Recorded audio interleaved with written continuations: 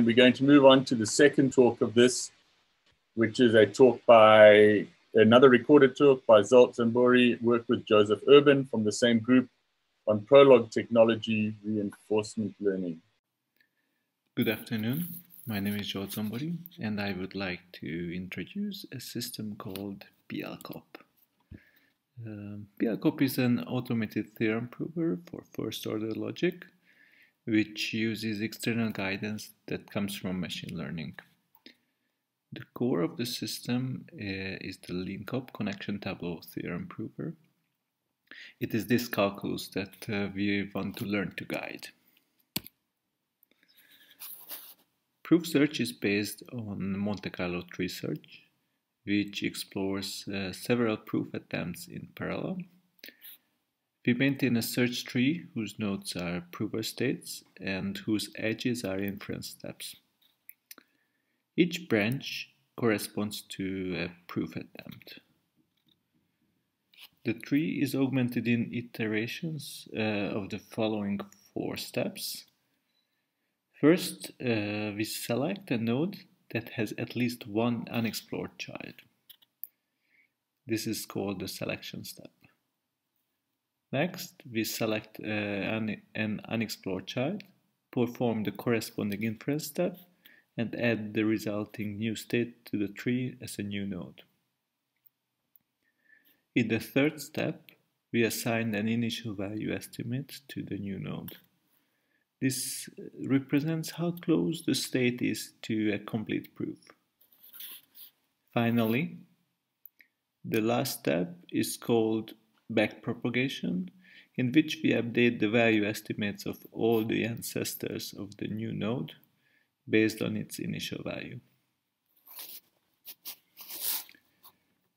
This Monte Carlo tree search algorithm makes use of two oracles. The first one is called uh, the value function, and this is what tells us how close a state is to a complete proof. Uh, the value function is queried when a new node is added to the tree. The second oracle is called uh, the policy function, which gives us a probability distribution over available inference steps in a given state. This policy is used in the selection step. So where are these oracles coming from? Initially, they are going to be simple human heuristics. They could even be random. It doesn't matter that much. Because very quickly they are replaced with learned models based on the prover's own exploration. This is done according to the DAgger meta-learning algorithm, which iterates the following two steps. The first step, or first phase, is data collection. Um, we built several search trees uh, for uh, various problems. Uh, and then we extract training data from the trees uh, for policy and value models. Next comes the second phase, which is model fitting. We train policy and value models that fit the collected data. Afterwards, a new iteration starts. We build search trees again from scratch. However, uh, this time we use the recently updated models to guide tree search. Um, and we do this as long as we see improvement in the number of proofs found. Most of the system is implemented in SWI-Prolog. Uh, in particular, uh, the Monte Carlo tree search and the LeanCOP calculus are in Prolog. However, learning is performed in Python using XGBoost, which is a gradient boosted decision tree library. The learned models uh, can be accessed from Prolog either via the C foreign language interface, which connects C++ and uh, Prolog, or via the PySwip package, which connects Prolog and Python. The former is faster while the latter is uh, more flexible, um, we currently use uh, the C interface. PLCOP is not the first system uh, that uh, uses guided Monte Carlo tree on top of LeanCOP. Uh, there is a system called RLCOP that is built on very similar principles and um, I'd like to highlight the novel features of PLCOP with respect to RLCOP. First, we introduce uh, a new inference step called rewriting, which is uh, a slightly restricted version of paramodulation. Using rewriting, problems involving equality very often have much shorter proofs.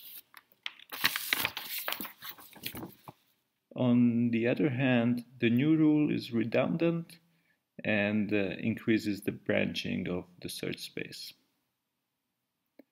Second, while uh, RLCOP only guides extension steps, uh, in PLCOP we allow for extending guidance to all inference steps, including extension, reduction, and rewriting. Third, uh, we built an external proof checker which can be used to validate our proofs. The proof checker uh, was particularly useful in the context of rewriting steps. It basically uh, can be used to, to replace proofs with rewriting to proofs uh, without rewriting. Finally, uh, we introduced a couple small but significant changes to the way training data is extracted from search trees. Um, but I'm I'm not going to be able to go into details, so i will just skip that. Here in this table, um, I try to give you a rough quantitative idea of what is going on during the training process. It shows 10 iterations of training and the numbers in the table are the number of proofs found uh, from a corpus of roughly 2000 problems. In the first line, uh, you can see the performance of RLCOP, which is the system we wanted to improve upon. The second line is a rough approximate implementation of RLCOP. Uh, this is going to be our baseline uh, you can see that this is much weaker than the original system. Then later lines show what happens when various features are added. We can see that uh, guiding reduction steps doesn't seem to help at all. Um, on the other hand, improved training uh, does give quite a nice performance increase, uh, both compared to the baseline and RLCOP. Uh, rewriting also yields a significant increase compared to the baseline. And if we put everything together, uh, if you look at the combined PLCOP system that solves uh, over 40% more problems than the baseline and around 12% more problems than the RLCOP system.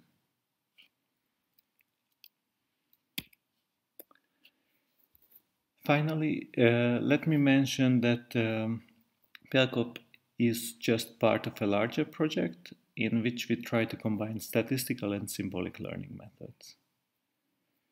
Uh, our plan is to collect proofs that are found by PLCOP and then use uh, inductive logic programming to create programs that can reproduce, generate these proofs. Once we have synthesized these new problems, we want to incorporate them into later iterations of the proof search as new atomic actions.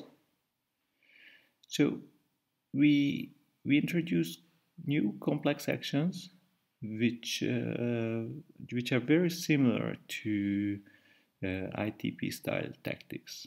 However, what's uh, different, what's novel, is that uh, these tactics are learned from proof traces. Uh, however, all of this is very much work in progress.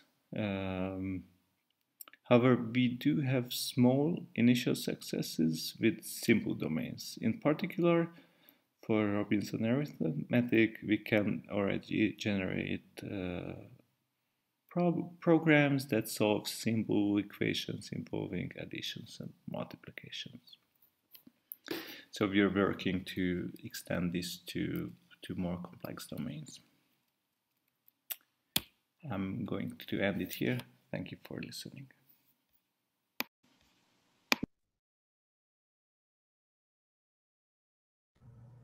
All right, so thanks for the talk, and we definitely have a few minutes to answer questions. If anybody, Stefan, I saw you had a hand raised earlier. I don't know if that was for this talk or the previous one. Uh, put your hand up again if you want it again. Anybody else got anything in the Q&A or raise a hand?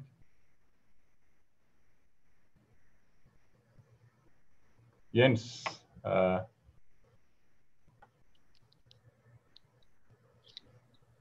yes. Um, question, um, uh, did you compare um, the results um, you got with the um, kind of uh, original LeanCOP implementation or the newest version, like uh, version 2.2? Um, or did you just uh, compare it with the re-implementation of the connection prover? So I did compare it with with original LeanCOP, uh, which uses uh, I think around 20 strategies, and uh, uh, the 20 strategies together are, are, doing better, at least on this training set, not on all of the training uh, sets. So here we have something like, um, uh, we found around 1400 uh, problems and LeanCOP uh, could find, find around 1600. So it's still doing better.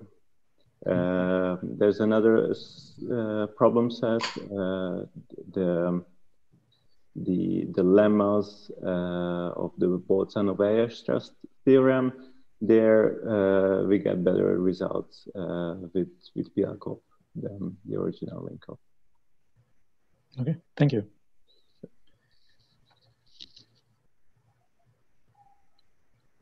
Has anybody else got anything else they'd like to ask?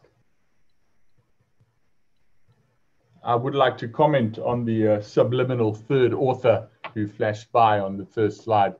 Very good, very nicely done there.